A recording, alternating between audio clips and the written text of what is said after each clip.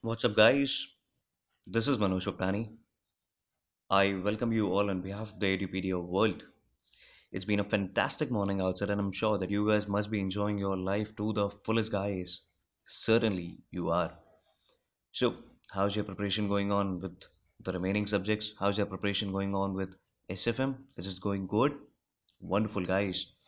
So, uh, this is going to be the seventh video presentation in which I'm going to discuss with you the remaining questions which have already been asked with respect to the topic of derivatives. This is to be the final video of this particular chapter. By now, I am hoping that certainly you guys have revised your topics completely and surely you're thorough with the concepts, whatever the kind of uh, things that institute expects out of you guys i have made you understand each one of that particular thing so i just hope that you are retaining your topics time and again because that is something which is extremely imperative for each one of you. Don't skip on that guys. Remember it. So let's mark the beginning of this particular presentation which is going to be the final conclusion of derivatives. And i hope you guys are going to be liking it like anything. So this question was asked in CA final examination for May 2012. It says Ram buys 10,000 shares of X Limited at a price of 22 per share, whose beta value is 1.5. And at the same time, he sells 5,000 shares of A Limited at a price of 40 rupees per share, which is having a beta value of 2.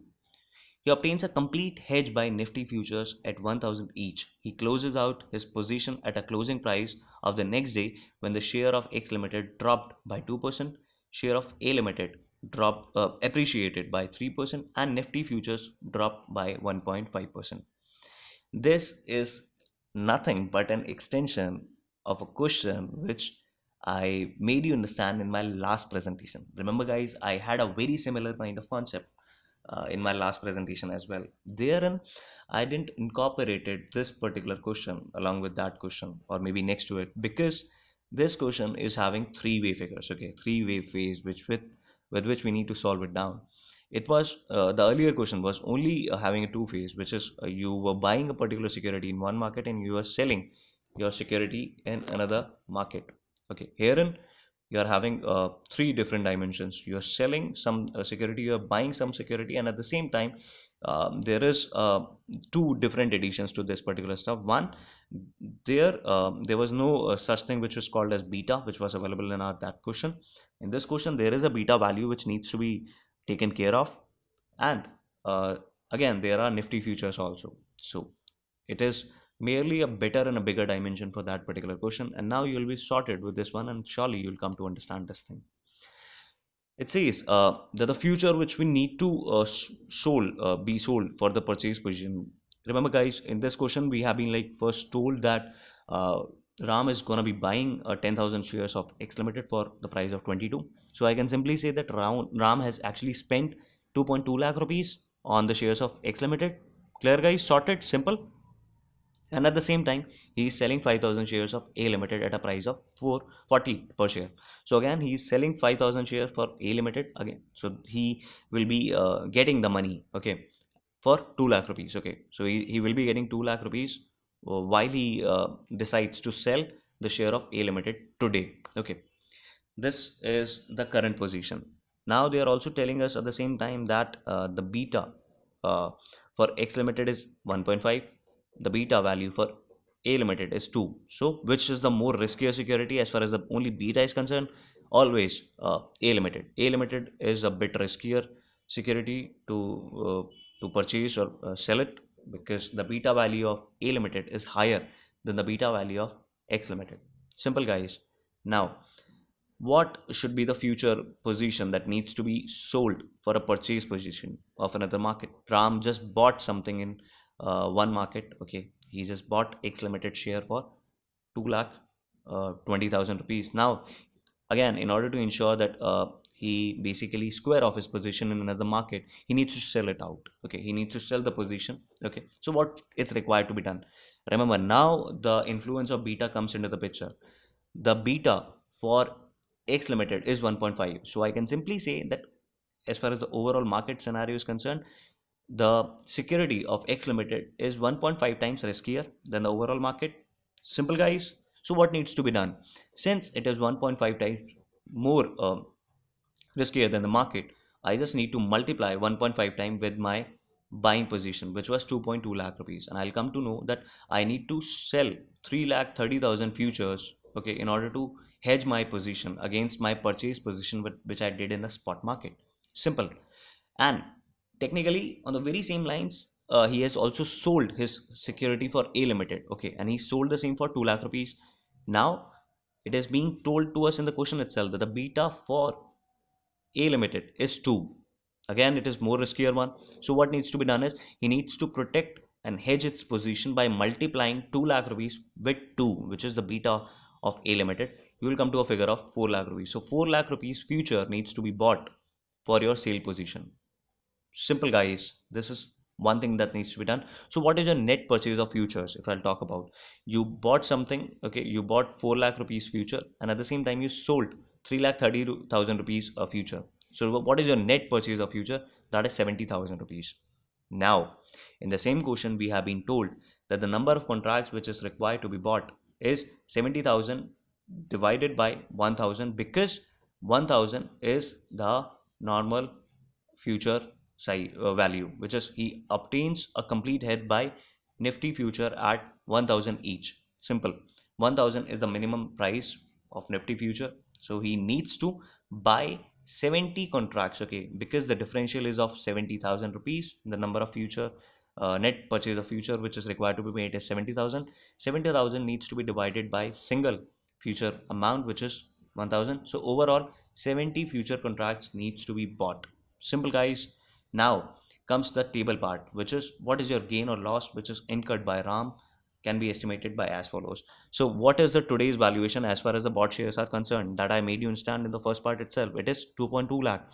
He uh, bought the shares of X Limited at 2.2 lakh rupees and at the same time he sold the shares of A Limited for 2 lakh rupees. Simple guys and we just bought something as far as the futures are concerned. We bought the future for 70000 rupees. Cool. So we uh, bought two things okay? 2.2 lakh rupees shares and 2. Uh, 70 lakh thousand rupees long futures. And at the same time we sold 2 lakh shares okay?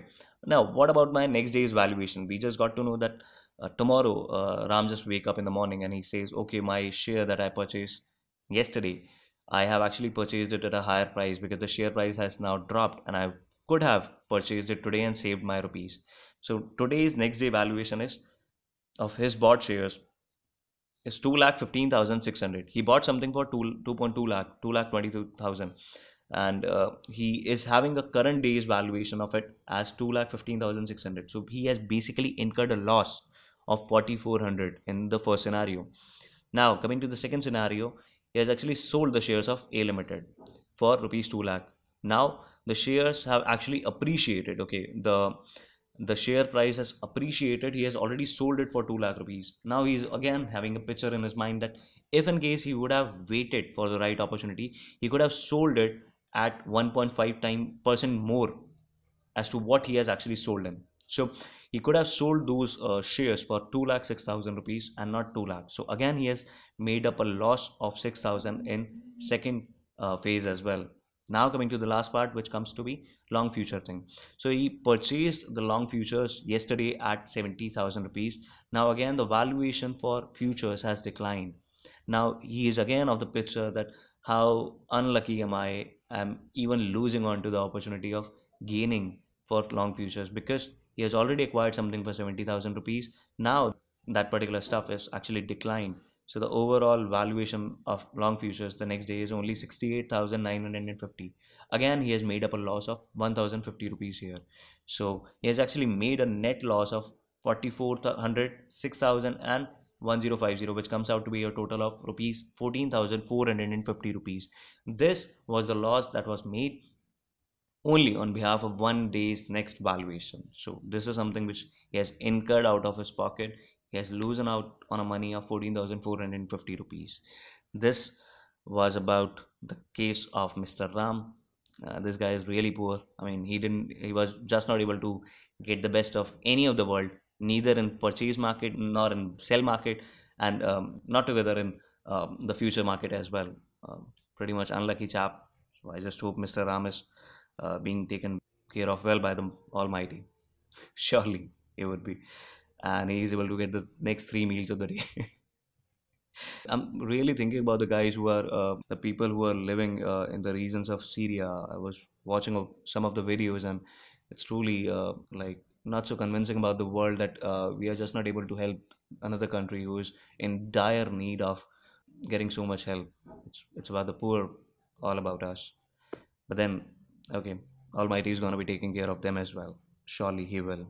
So clear, guys. Sorted with this one. I hope now you guys are super confident about the kind of stuff that will be asked in CA final examination and definitely you will just bang on once the examination question paper appears in front of you. I'm sure and I'm hopeful about this thing that you must have liked this video. If in case you have found this video informative, if in case you have liked this video, and if in case you know that this video is going to be really useful for your friends, then do, do, do share it with as many people as you can Thank you on behalf of the Edupedia world. Stay connected, guys. I will see you up in my next presentation. Till then, God bless you all. Sign up. Take care. Bye.